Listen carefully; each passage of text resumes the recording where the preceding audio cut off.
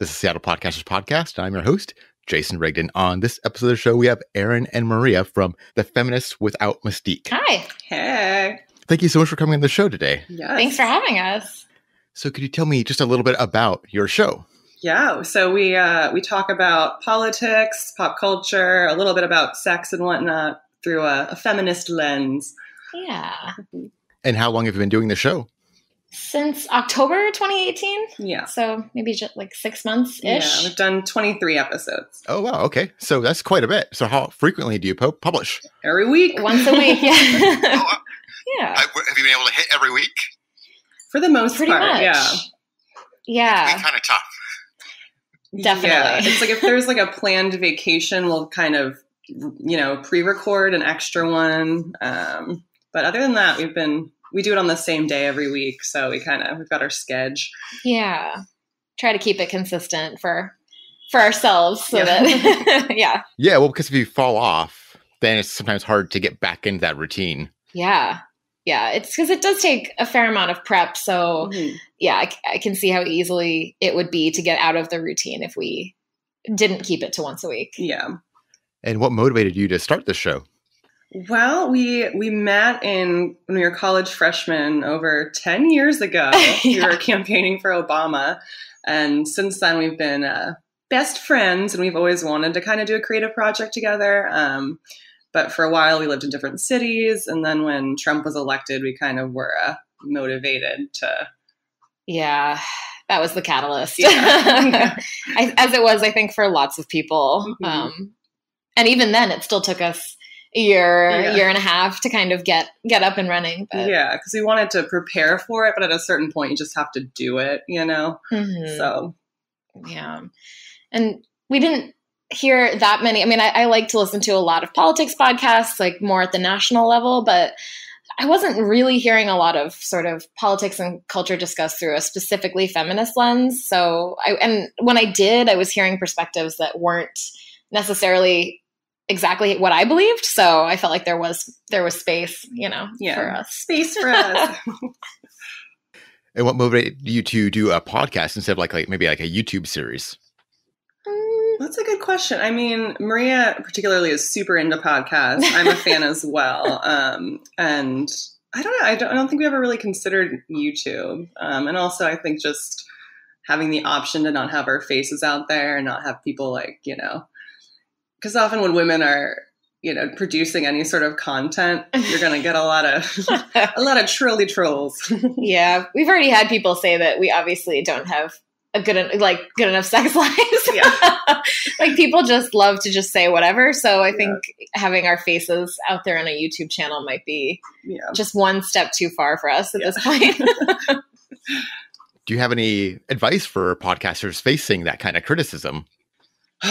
Man, I mean, it's we're both we're both sensitive, I'd say. So I'd say try not to let it affect you or la- laugh it off when you can. But I think it's hard as a human not to take things personally. But you know, try to also focus on the positive feedback you get, and you know, hmm I don't know, it's how do you take bad criticism? I mean, I, yeah, I, I try to keep it in perspective, and yeah, I would say just and again, this is probably this is advice I have to just say to remind myself, but just to be listening to the positive feedback, and and you know, people wouldn't, especially anonymous, you know, people on the internet wouldn't be giving positive feedback if they didn't genuinely feel that to be true. So I Mhm. think just trying to have some balance in your mind. yeah.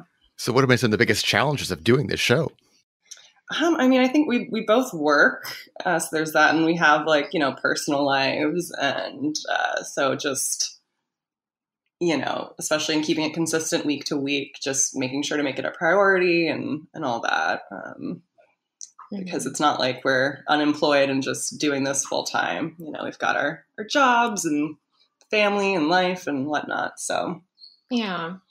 Yeah. So and and, and the discipline of trying to make sure that when you know we're tackling a subject that we both feel passionately about, it's it at least I've felt that um, I think I know a lot about it, and then as soon as we hit record, I'm like there's a flood of doubts that come rushing into my head. So Mhm. just trying to make sure that as much as possible we have as many of the facts and the quotes and the things in front of us, so that there's less it helps like mitigate that um that doubt that creeps in. Yeah. Research. Yeah. Research and preparation. Mhm. And how do you stay motivated keeping on doing these weekly episodes? I mean, we both really enjoy doing it, and we really enjoy spending time together. We live uh, like a 10 minute walk from each other. Mm-hmm. Yeah. Um, so we want to see each other regularly anyway, and we both kind of get a fulfillment from this. So, hmm That and also like I mean Trump's tweets and the, the general cycle of news is so heinous that you know I feel like this is one way to yeah it, it's fulfilling and it's it's therapy. It's therapy a little bit. Ugh. Yeah, so what have been the biggest rewards of doing this show? Um, it's been cool getting um, seeing people that we don't know start to listen and sort of having our uh, our listener base consistently grow a bit, um, Yeah. and having people find it that we don't really know how they found it and they listen to it and. You know, when we look at the map of who's listening to it, we're like, oh, wait, I don't, I don't know anyone in that country or in that state. You know, yeah um, so that's cool to see. that's been cool and um there have been certain i mean i i think both of us have some conservative extended family members that we you know we love and we Mhm. care about but um i always find at family get-togethers that it's really hard to have these conversations. And like i mean trump's election really felt like a moment where it was like where the battle lines were drawn um and there's no coming back. And so one thing that's been really nice is I know that some of my conservative family, and I think you know, we like they they listen, and I think the cool thing about a podcast is that unfortunately, you know, they're they have to listen and just they can pause or stop at any time, but it's a one way thing where they're just getting our perspective, and if they want to talk to us about it, they can, but. Um, I know at least one of my uncles has reached out to say that he actually changed his opinion on something kind of important. Um, I mean, they're all important, but this was like a pretty big deal um, based on listening to one of our episodes. And for Mhm. me, I that was really like a really, really deeply fulfilling thing. Yeah, and kind of it's helped to facilitate conversations. Yeah. You know, Yeah, for sure. And are you doing any kind of like ads or Patreon? a little bit. So we've done a couple um, like promoted p- posts on Facebook and stuff, and we're actually after we're done talking to you, we're gonna record some promos because yeah. that's sort of our next thing is trying to, you know, actively get more listeners and a more uh, aggressive. It's not the right word. Proactive. Proactive. aggressive. More proactive way. but I mean, at this point, no, we don't have we don't have advertisers on our show, Mhm. and we don't we haven't done a, a Patreon yet. I think we're still sort of just Mhm. wanting to grow organically and not Mhm. you know not that I mean no one has really approached us yet, but also I think it would feel weird to be beholden to an advertiser at this juncture.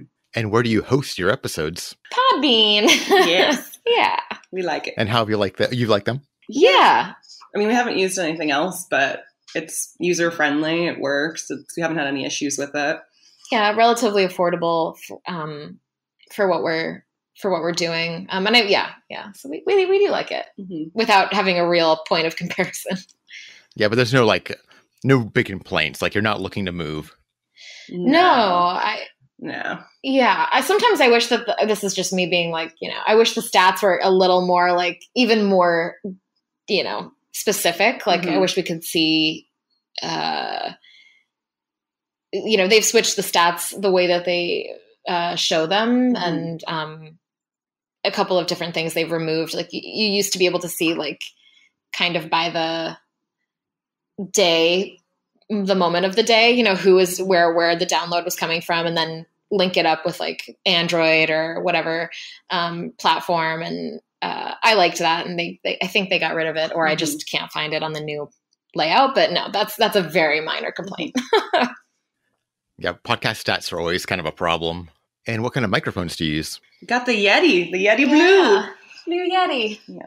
Yeah. And you're happy with that one? Yeah. Yeah. We had like, when we were starting, we had sort of like a horror moment where, I mean, where like I had just up, upgraded the software on my Mac and it just stopped working. Like everything was the same. And for some reason, the Yeti mm-hmm. and, but we, you know, after a bunch of YouTube deep dives, we found this like little Amazon Basics adapter, and that seemed to fix it. So knock on wood. But I haven't done any Mac updates since then because who needs that? and do you have any tips for using that microphone? The microphone is very popular, but sometimes it doesn't sound all that great. Your show sounds really great. Oh, thank you. Well, we kind of jerry rigged a little uh, recording studio in Maria's kitchen where we just we put like chairs on top of the table. We put like a comforter over it. Um, so we kind of have our own little soundproofing that we do. yeah. Um, I think that helps a lot because we kind of were experimenting around her apartment trying to find where we can get the best uh, sound quality. And uh, we found that that was the, the best way to go. And how close are you to the microphone usually? We're probably each about, I'd say, like a foot and a half away or something. Yeah, maybe a little less, but about Maybe that. less. We try to stay equidistant. And before we start recording, we always do a little test. Yeah. Oh, you're both using the same microphone. So is there any kind of like difficulties in kind of sharing the microphone and making sure your volume levels are, um, you know, matching? Not really. They have because No. there's like the dual setting on it, and we, you know, we speak at the same volume, and so we haven't really run into any issues with that. Yeah, I think you know we've had there have been moments where we're doing the test and it sounds like the mic is having trouble picking up one side or the other, and in that it's been pretty rare. But in those times, I think I, I basically just I do the good old restart, reboot everything up, and um, then just resync the Yeti with the software because we edit on Adobe Audition, um, and it's uh, yeah, I, I like the dual setting. I think yeah, it's like the the I forget what it's exactly called, but it's like the uh, you know, you need or bidirectional. Oh, um, yeah, the that's it. bidirectional mic on the Yeti. So And I think I missed a question, so I'm going to go back just a little bit. Had either one of you done podcasts before? Nope. no, yeah, this is our first one. Yeah. Because, like I said, I mean, your show sounds really great. It sounds great. oh, thank you. Thank you, Jason. That's great. That, yeah, that, yeah. Well, we wanted it to, you know, we wanted it to have, you know, a high quality sound to it, kind of out the gate. So Yeah. we we spent time working on that. yeah, yeah. we- and I think you said, but what software you use to edit? Uh, Adobe Audition. And how long does that like post production take? Well, not that long actually. yeah, because we kind of uh, what we we pretty much just well what Maria does because my computer doesn't support it, so I like dismantle our little studio while she does this. But we pretty she just kind of adds the intro music, outro music, um, and then if there's any weird like. You know, if I burp in the middle or something, cut that out. Yeah, it's something we we were thinking about trying. You know, our next step because I think at least in phase one, which we consider ourselves like you know still to be in, we were uh, you know focusing on consistency and you know and content and the sound above all else. But I think in this like maybe in the next phase, Mhm. a goal will be to make it even a little bit tighter on the editing. Um, I think what we run into on a practicality side too is just one- by the time we're done recording, it's it's late on a Tuesday night. It's usually like 10, 10 30 and we're tired. So um, and we're just eager to get it kind of out, out the door. Um, but yeah, I mean the post, I would say we honestly don't spend more than 20 minutes on it. Mhm. Uh, So you're not the type that needs to cut out every um and uh. No, maybe we should. we, we probably should, but we don't. cross that bridge at some point. yeah i think the goal i think at some point we do want to maybe focus on taking it to that next level where we take some of the ums and the like both of us have a tendency to validate validate each other in a way that's like yeah yeah and uh, at least some feedback from my dad uh, has been uh, maybe like you know that can be minimized if we want to if we're looking for things to cut out Oh, well, I'll tell you my opinion. I think that like you've got a very good conversational back and forth, and I, I wouldn't do too much different. oh thank thank you. you Thank you for the validation. I mean, it does. It really does mean a lot because, yeah, I think we struggle with uh, what is it like an inferiority complex or just like just feeling very like, why are we? You know, yeah. what right do we have to be talking? Do we even know what we're doing? So that that does mean a lot. Thank you. Well, yeah, some people, you know, they just obsess about it, and then you know when you cut all that kind of stuff out, it sounds oftentimes very robotic and artificial. Mhm. Mm, hmm Yeah. Yeah, and you really want that natural kind of feel. Yeah. Yeah. All right. Well, then we're perfect. We're done. Fine. And how do you prepare for your shows? Um, it depends what we're talking about. Uh, I mean, we generally we meet on like a Saturday or a Sunday before to kind of go over things, and some topics we need to do a lot of research on. But if it's like we had one episode we just talked about kind of like dating horror stories, so for that we just kind of Came with what we had. came with what we had. But normally it just involves kind of you know meeting up, discussing, doing some research.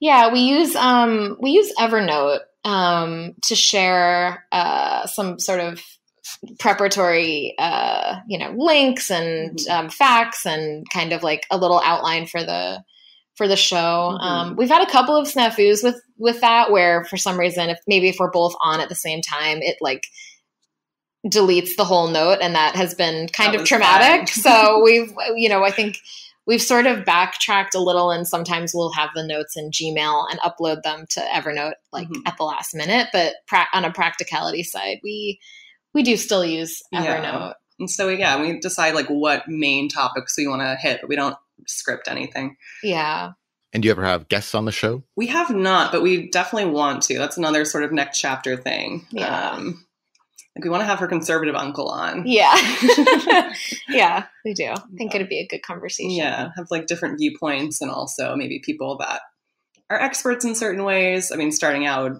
be generally, I think, people we know, but yeah I think we'd like to do that. yeah for sure And do you have any advice for brand new podcasters or you know people are just thinking about starting a show?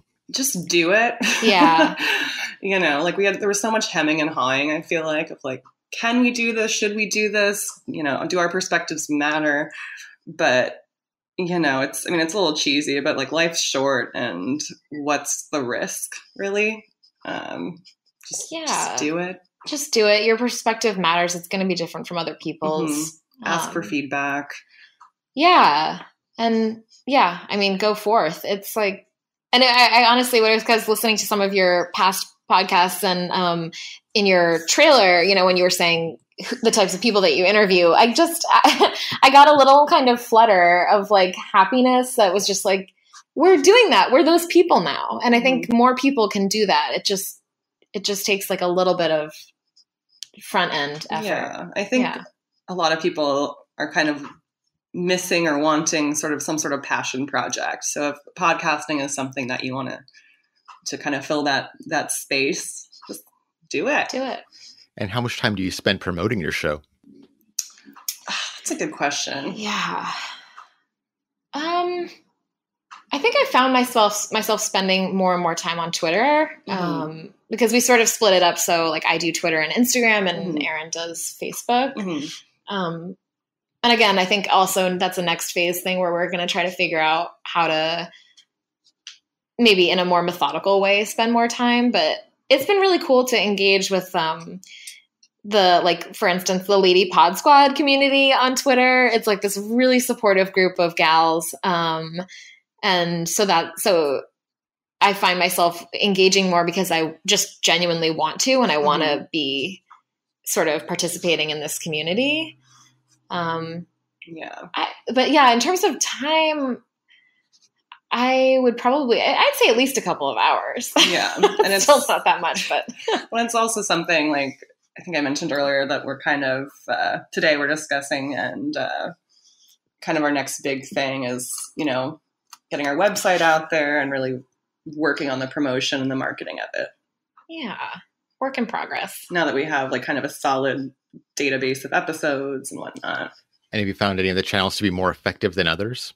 Um, I mean, Facebook. What's hard about Facebook, and I've talked to some of the um, the other podcasty people about this, is it's you can like you can do your promoted posts and whatnot, and sometimes get some clicks and some listens from it, but there's not really that follow back kind of culture on Facebook that there is on Instagram and Twitter because you know you, different podcasts aren't going to be able to like your podcast page; it's individuals, so that's a challenge. It's it seems like the way to get likes from that is having people who genuinely like your podcast come and like it. Um, so Yeah, I I found I find that Twitter has had a sort of a cascading effect. Like you know, we found some loyal, sort of loyal listeners from what I would view to be kind of like random areas. We found like there's there's a couple of like cool guys in Indiana who are into it, and a couple of guys in like North England who yes. are just kind of like random places where we've just struck a chord, and then they've recommended it to people, and um, and I will say we've had at least this week. This is probably because we just put it on Podcoin, but like mm-hmm. we had like a three three hundred people listen on one day. Mm-hmm. Um, which for us is a lot. Which for us for us for our stats that's that's that's a lot. Um, for I think just putting it on the platform Podcoin. So, um, yeah, I think just in spending more time on that. Yeah. Mm-hmm. And do you keep up much with like the podcast industry news? N- not no. really. not gonna lie to you, Jason. No. No, I, I, think sometimes I I like lurk there, you mm-hmm. know, and in in my in the Twitter feeds of people um, that more on the national level. Um, and I think the only thing it, it does sort of maybe stress me out. So I because I think about how there I, it seems like there's a lot of media consolidation in podcasting now from like Gimlet Media and stuff like that and um I I just like the way I like the rogue like way that that podcasts operate. So I think uh, it, it's definitely I find a little bit of anxiety in that in that corner of the world. and do you listen to many podcasts yourself? I listen to a lot. To I listen. I listen to several. She listens to a lot. A lot. I feel like I fill I, I, fill all empty space with podcasts, yeah. which maybe I should like talk about in therapy or something. But but yeah. and how do you find your new shows? The new shows that I listen. Oh, um, I think you know. I think a lot of the time it's because of the the shows that I like having guests on. That I mm-hmm. then I'm like, oh, I like that voice. I want to hear what they're doing. Mm-hmm. Um, or by like. uh less less so now that I'm introduced more to the indie podcast scene, I'm less scrolling the like iTunes chart, which which I know everyone kind of lives and dies by the iTunes charts, but um, there is a lot of smart people um, podcasting that mm-hmm. will never make it. Or maybe they will. I mean, I'm not going to shut them Jeez, all down. Maria. We'll never make it. To, but um, there's a lot of people who just are experts in their fields, um, and I've I've found uh, through through our show mm-hmm. and through just following different people on Twitter that that's now how I'm finding like new people to yeah. listen to. It's like the groups that we've joined to kind of partially to promote our own show. We've found shows through them, you know. Mm-hmm. And how can people find your show? everywhere. uh, I mean, we're on Podbean, we're on iTunes, we're on Spotify, we're on YouTube because uh, why not? Yeah, um, and Stitcher. Mm-hmm. Um, yeah, I think the only place we're not yet is um, Google Play in terms of like the biggest places, yeah, the big ones. But yeah, just to search for feminists without mystique. Mm-hmm. Um, we're also on Podcoin if you want to get paid a teensy, teensy, teensy amount to listen. Um, and hopefully, you know, we'll have a website up and running soon. Yeah. Well, thank you so much for coming on the show today. Thank Thanks for, for having, having us. us.